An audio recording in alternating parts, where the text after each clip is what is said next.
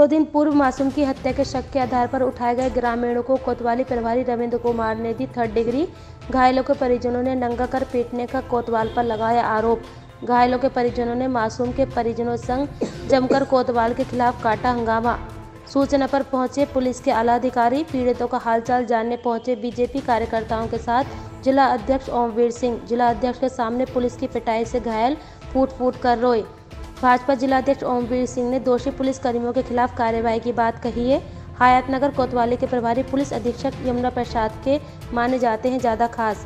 हयातनगर कोतवाली के प्रभारी रविंद्र कुमार पुलिस अधीक्षक यमुना प्रसाद के ज़्यादा खास इंस्पेक्टरों में गिने जाते हैं, जिसका वह नाजायज़ फ़ायदा उठाते हुए अपने क्षेत्र में अक्सर विवादित कार्यों को अंजाम देते रहते हैं। कोतवाली में जब से इनकी तैनाती की गई है, तब से क्षेत्र में जुआ के अड्डे, अवैध शराब का धंधा, लूट, हत्या डकैती आदि अपराध चरम सीमा पर पहुँच चुके हैं लेकिन पुलिस अधीक्षक का पूरा हाथ होने या यूँ कहें ज़्यादा खास होने का पूरा फ़ायदा मिल रहा है और कोतवाली क्षेत्र की जनता परेशान नज़र आ रही है। अब देखना होगा कि भाजपा जिला अध्यक्ष ओमवीर सिंह का कोतवाली प्रभारी के खिलाफ दिया गया बयान कितना अंजाम दे पाता है।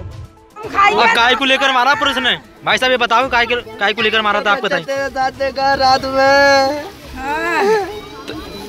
में। और क्या आरोप लगाया आप बच्चा तेरा दादा तू गंदी फ़िल्म में दिखा दिया और फ़ोटो का क्या मामला आया था फ़ोटो का? फ़ोटो जो मैंने वहाँ से खींचे मैंने आपको दे दिए। हाँ हाँ। जो मुझसे मांग रहे मैं उसे दे दिया था। हाँ हाँ। तुझसे फ़ोटो कहाँ से आएँगे? ही- फिर भी मैंने वहाँ से कैसे गए तो मैं आओ है और क्या मैं लड़के के परिवार को क्या आश्वासन कर दिया है? हाँ। अभी मेरे सुबह ही मेरे संज्ञान में इस तरह की बात आई कल तक मेरे संज्ञान में कोई बात नहीं थी और पूरी भारतीय जनता पार्टी परिवार के साथ है और पूरी जनपद की ज्येष्ठ व श्रेष्ठ सभी पदाधिकारी व कार्यकर्ता इस समय गाँव में मौजूद हैं। और जो निर्मम हत्या जिस बच्चे की की गई है, उसको न्याय दिलाने के लिए जो पुलिस की प्रणाली भी यहाँ सुनने में जो आ रहा है, पुलिस ने बड़ा ठीक व्यवहार नहीं किया है।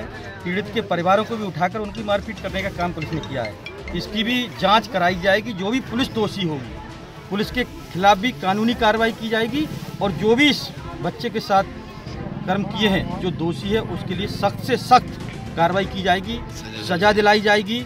इसके लिए भारतीय जनता पार्टी पूरा प्रयास करेगी, पूरी पार्टी परिवार के साथ। की तरफ़ से परिवार के लिए जो भी संभव मदद है, वो सरकार की तरफ़ से की जाएगी, अधिक से अधिक मदद की जाएगी। ऐसा एसडीएम साहब ने भी आश्वासन दिया है और हम भी माननीय मुख्यमंत्री से इस बात की मांग करेंगे कि परिवार के लिए अधिक से अधिक मदद की जाए। जी सर आज साल के बच्चे का शव रखकर चौराहे पर जाम लगाया गया था क्या मामला ये कल जो है हयात नगर थाना क्षेत्र के हसनपुर गाँव में एक नौ साल के बच्चे की बॉडी मिली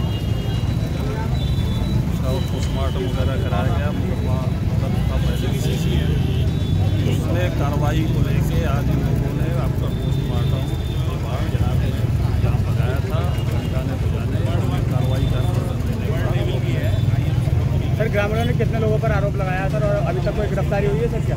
अभी तक वो एक आरोपी बता रहे हैं, इसके आगे भी अगर बताते हैं या छानबीन में जो आता है, उसके खिलाफ